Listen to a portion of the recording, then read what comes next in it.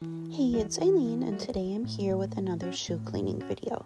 Today I'm working on some Air Jordan 1s that are kids size 1. I bought these for $6.99 at a Goodwill in Des Plaines, Illinois. So, first I'm going to take the laces out and get rid of them.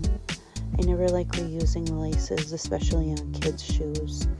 And then I'm going to scrub them down now with a product that I found on Amazon here's a side by side with one shoe done, one shoe not done. I'm going to take the laces out, scrub down this one, and I think they're looking pretty good. I find it interesting on kids' shoes how they're really not in that bad of shape. So now I have some lacing to do. This took me forever, so we're just gonna cruise right through it. I found these rainbow laces and I'll end up giving these shoes to my niece, which I think she's really gonna like.